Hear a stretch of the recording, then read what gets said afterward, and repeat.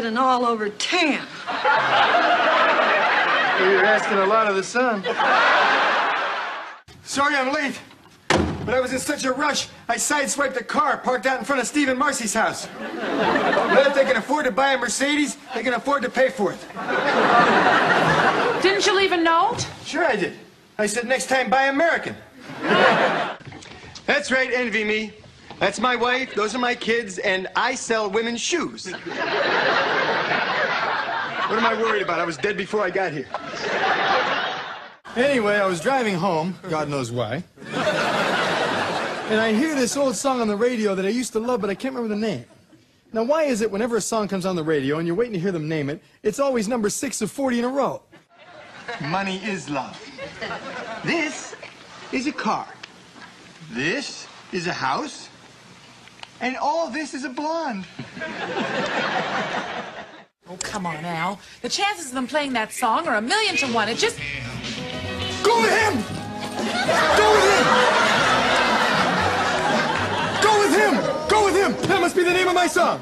Groovy song, wasn't it? You know, a lot of people think the name of that song is Go With Him, but it's not. What is it? What is it? Well, here's our third song of 5,000 in a row. Honey, take a picture of me so you can remember me when I was beautiful. Well, you're gonna get worse? Shut up and take the picture.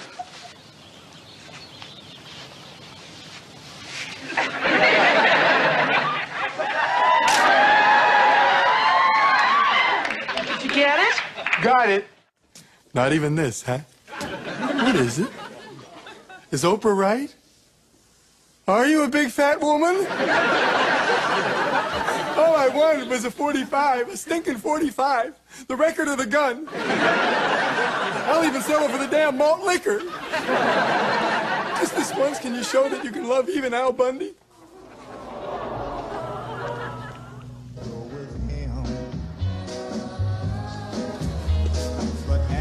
That's it! That's my song! Thank you. I- I'll be back for only one more request. It involves a thunderbolt and, uh, He peeped me last night. Oh, he peeped you? Yes, it was horrible. so how was it for you? Bottoms up, Al.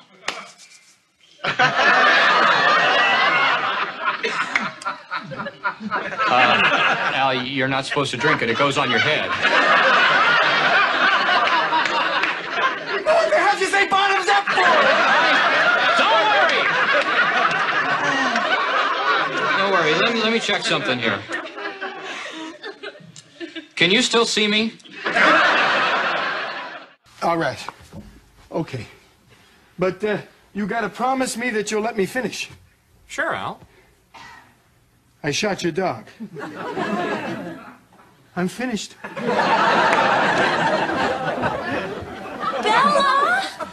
Bella? Is he? Alive? Yes. No.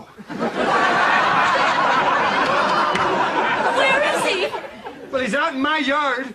You, you can't miss him. I didn't. Honey, I'm just gonna go upstairs and try this on, and then I'll come make you a nice, juicy steak, just like the dog had.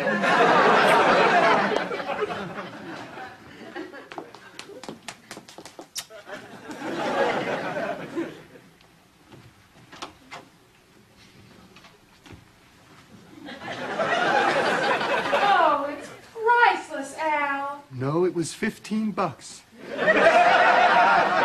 but you, my love, were 275. Hank, I'll be down in the basement. He saw it all, Steve. Uh, Marcy, did they find this guy passed out in the bushes, still twitching from fear? Because, I mean, just the thought of it gives me the heebie-jeebies.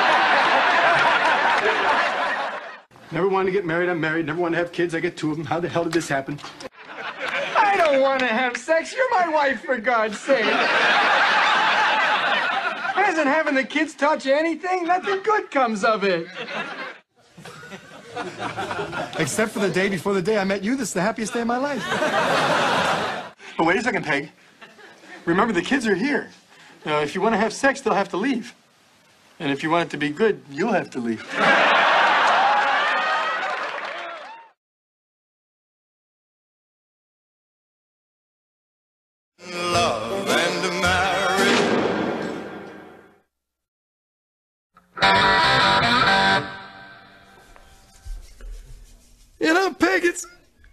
Kind nice sitting here like this with you. How many beers did you have tonight, Al? Ten.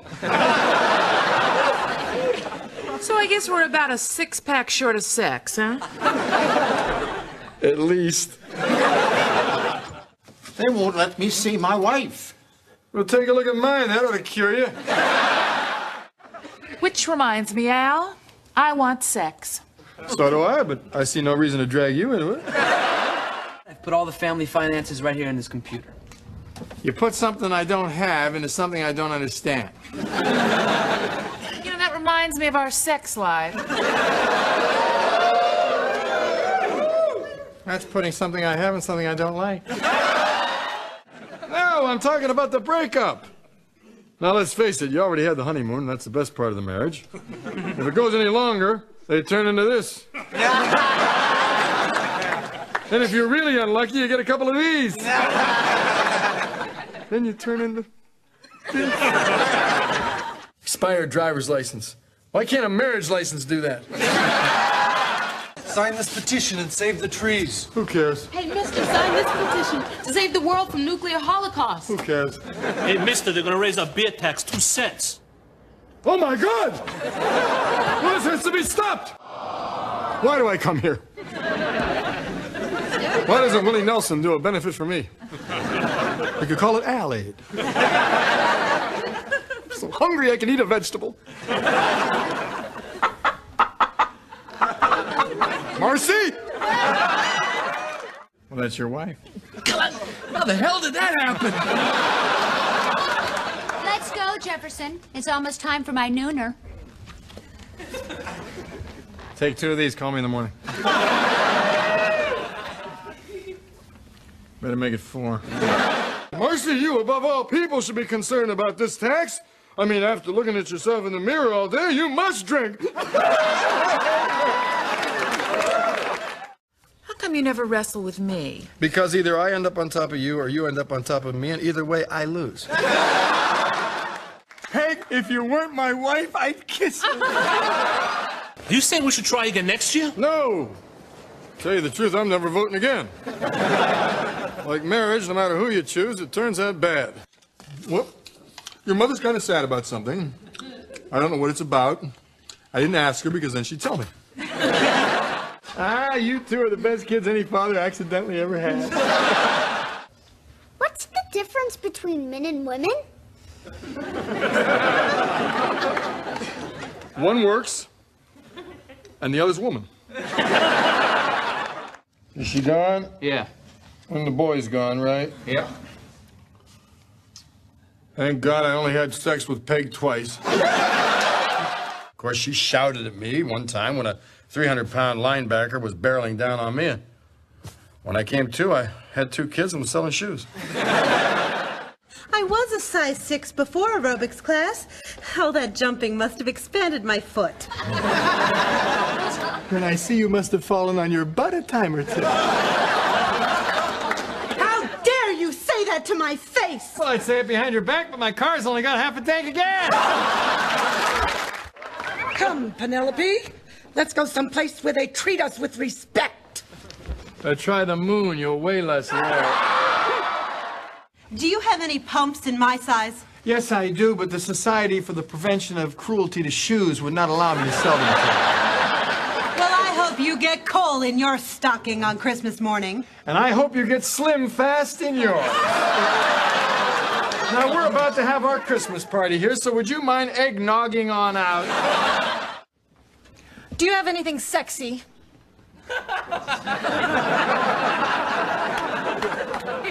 No, do you? Yellow. It's for you. Guess who this is? My brain on drugs? All right! right, I'll stay. But I swear I'm not touching that bozo with the big red hair. or that guy. Come on, Al. I really want to hear Wind Beneath My Wings. Well, then jump off the roof, Peg. $10,000 and a trip to Tahiti just for having sex with Peg. Yeah. Well, this is a toughie. You don't know what I had to go through to get those tickets. You don't know where I've been. And believe me, it, it wasn't Tahiti.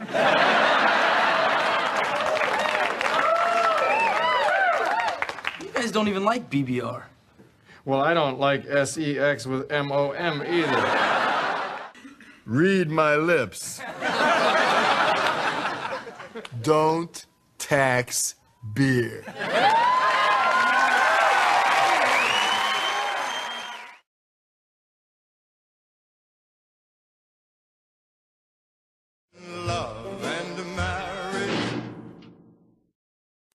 I love these perfect times together.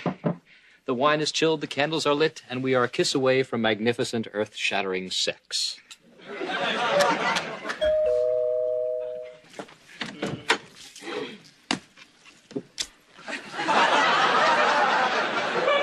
Oh, man, what a date. Uh, give me a beer, will you, Marcy?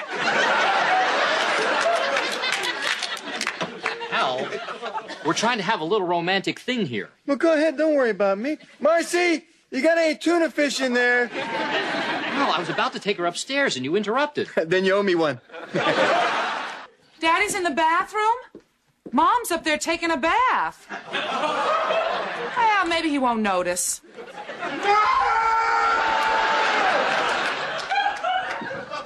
Peg! I'm blind!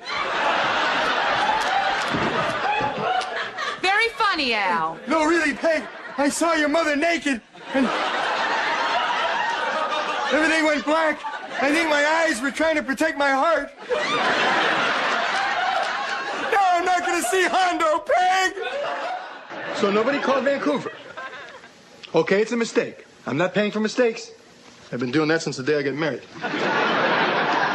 Well, you haven't been very nice to my family. Well, neither is nature. Go bother it. Now, Al, you know I don't ask much of you because I know how severely limited you are. But please do me a favor and just say something to them. Go home. Does that take care of it, Peg? That's a nice start. Just show them that you care. Go home and drive safely. Here.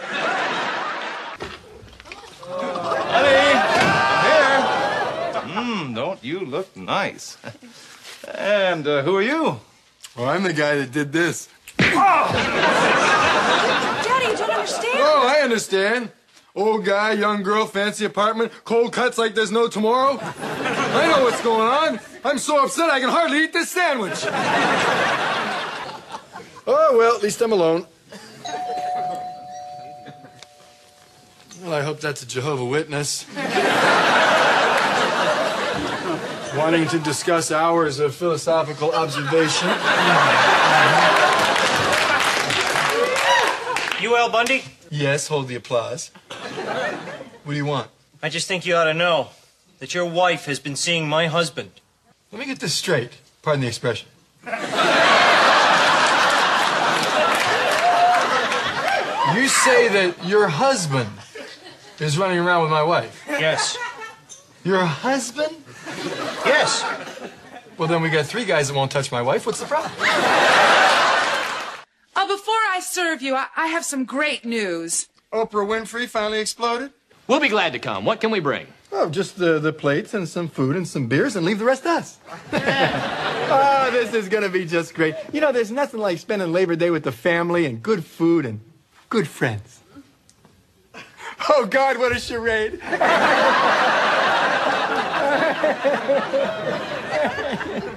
oh, God.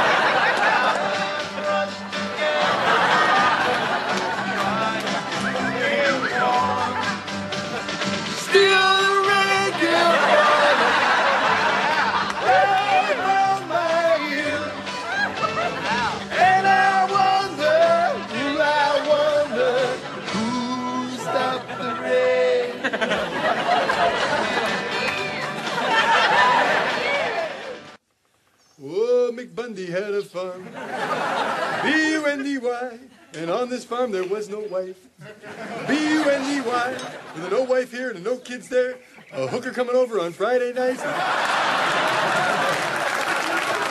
Big luscious hooters and pizza and a beer there. Oh, Mick Bundy had a farm. B-U-N-D-Y. Yeah.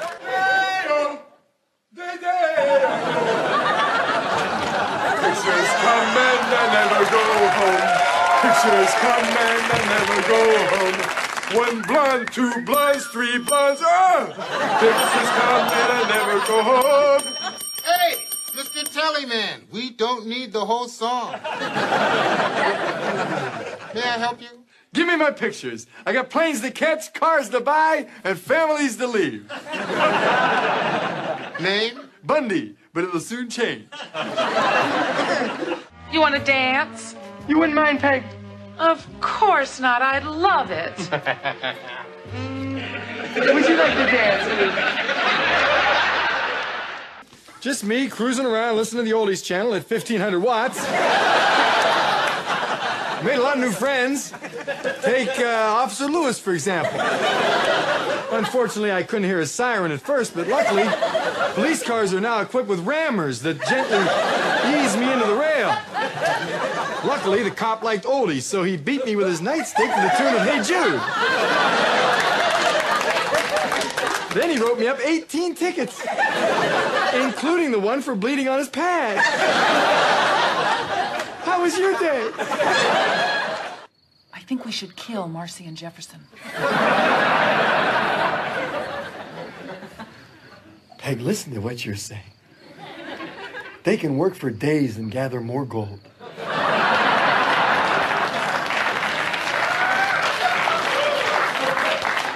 And then, if they should accidentally walk in front of my rifle. Oh, you're so smart, honey. Yeah, good. How much is it, Al? 225.57.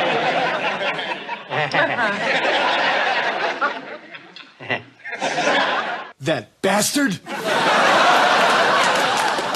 Guys like that deserve what they get. He's getting your wife. Oh, let the punishment fit the crime. Hello, Jim's Fish, Chips, and Insurance. Al Bundy here. Hi, Jim. Uh, listen, how much to put my son on my insurance? How old? Um, 16. uh, he's 16. Whoa! If you think I'm gonna pay that much, you're as stupid as those cats you trap and call tuna.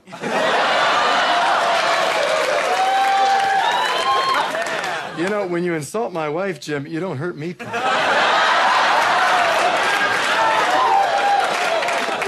Well, what do you say, Al? Nothing I haven't said myself. Are you sure you didn't use too much dynamite? Son, if dynamite was dangerous, do you think they'd sell it to an idiot like me? Now, nothing can go wrong. I've taken every precaution. Including making sure it was nowhere near a gas line.